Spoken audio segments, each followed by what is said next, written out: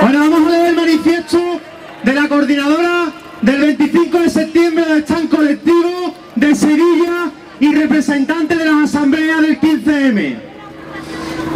Que se vayan todos.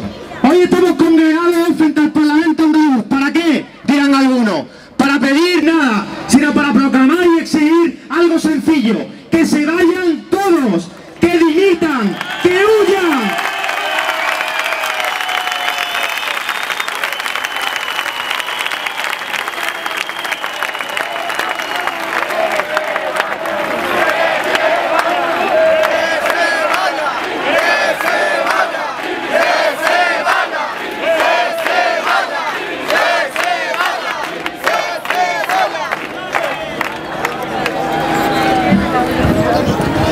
que eso que llaman democracia no es más que la dictadura de los mercados, es decir, de los banqueros, de los grandes empresarios, de los propietarios, de los especuladores, de los de arriba, de los que provocaron esta crisis y de los que salieron ganando de ella.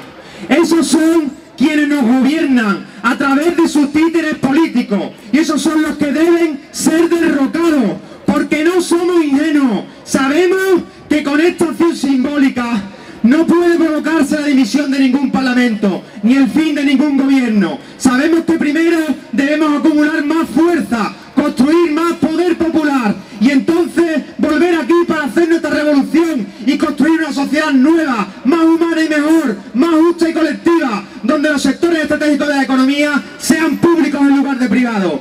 Los medios de comunicación en poder de la banca siempre mentirán sobre nosotros y nosotras.